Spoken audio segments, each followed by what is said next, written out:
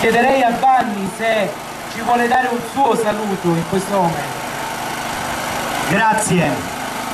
L'anno scorso il Pride dell'emozione a Reggio, quest'anno il Pride del progetto, il Pride che va avanti, il Pride che di Reggio una città europea, una città mediterranea proiettata verso il futuro per tutti.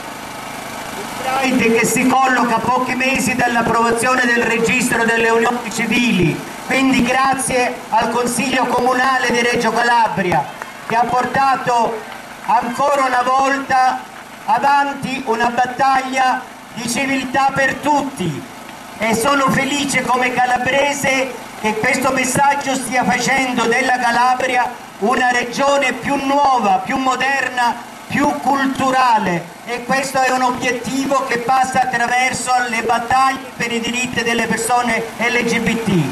Una cosa sulle unioni civili, non aggiungo niente a quello che ha detto Flavio Romani, però questa legge sta tardando troppo e troppi anni, da troppi anni la stiamo aspettando e vedo che ancora oggi stiamo passando di rinvio a rinvio.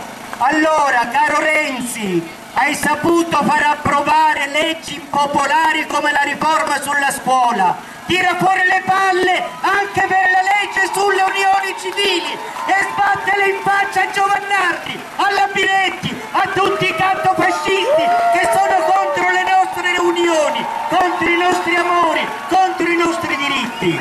E un'ultima cosa, Adesso voglio dire una cosa per la scuola. C'è una crociata infame, fatta di menzogne, che sta impedendo che la scuola si organizzi per il rispetto degli alunni e delle alunne omosessuali e transessuali. Questa è una vergogna, la scuola è complice, è responsabile dei suicidi, è responsabile degli atti di bullismo. Allora io chiedo a quella parte laica della scuola, Fate sentire la vostra voce, non state in silenzio, perché un giorno io vi chiamerò alla complicità dei nostri lutti e dei nostri dolori. Basta con la sofferenza, noi non vogliamo essere più vittime, noi siamo orgogliosi di essere gay e questo Pride lo dimostra.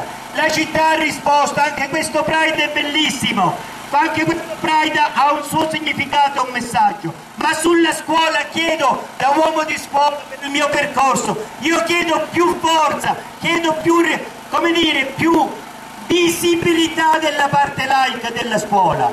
E perché se un giorno voi dovrete, un preside vi chiederà di bruciare libri, di togliere libri come ha fatto il sindaco di Venezia. Ditegli è una vergogna, che vogliamo andare avanti, che vogliamo uscire dal medioevo, che i ragazzi omosessuali, transessuali e lesbiche hanno il diritto di essere tutelati, di essere felici, perché a casa loro i genitori si possono educare i figli come cazzo vogliono, ma la scuola deve essere per tutti.